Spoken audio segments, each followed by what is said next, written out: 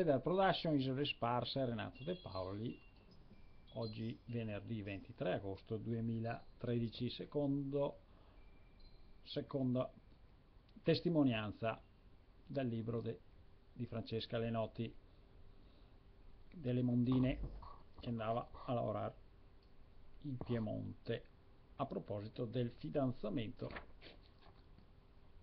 e dei problemi sessuali era tanta miseria qua. Allora i faceva il cinema. A Balavene al nostro paese. E il teatro ah, del prete.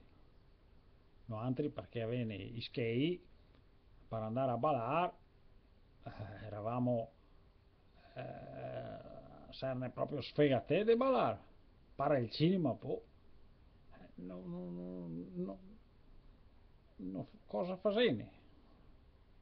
Sulla porta c'era due persone che, che rompeva e tagliava i biglietti. E, e, e se disene tra noi altre boh sa disene cioè volete andare a a ballare se voli che ve palpa le tete, se voli che ve palpa le ciappe, andate dentro.